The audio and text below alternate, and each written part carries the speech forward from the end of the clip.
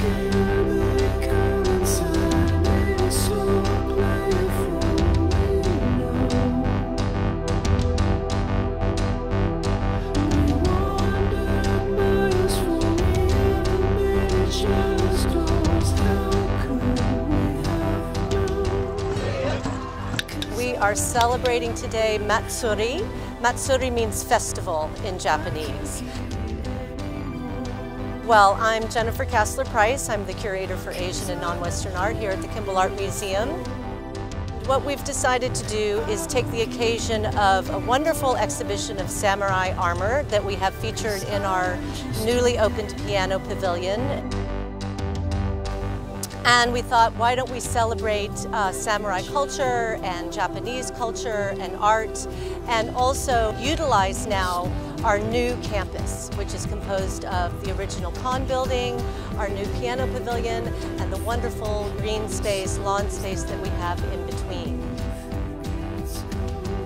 So uh, we came up with an idea to do kind of a day-long festival that would incorporate our art making activities, um, performances, martial arts, dancing, and we're going to wrap it up this evening with two really fantastic performances by Air Review and Sarah Jaffe.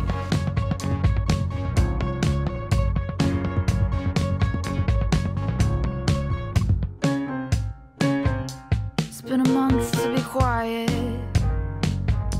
and a few days to be cool. My friends, this is a big public space that is here for um, our citizens, not just in Fort Worth, but in the larger DFW area. We want to be welcoming. We want people to feel like this is a place that they can come. If they want to just hang out on the lawn, that's great, but then they can also come inside and see wonderful art and learn something about different cultures and learn something about history. And so I think this was really a great way to kind of showcase that.